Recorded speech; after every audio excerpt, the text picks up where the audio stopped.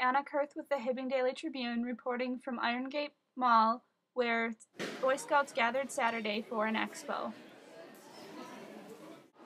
This is our expo, our scouting expo. It's the Nopeming District Scouting Expo. So we invite all our units here to show off their stuff.